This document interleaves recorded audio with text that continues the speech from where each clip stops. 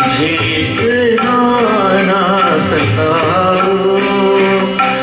अब चैन से रहने दो मेरे पास ना आओ।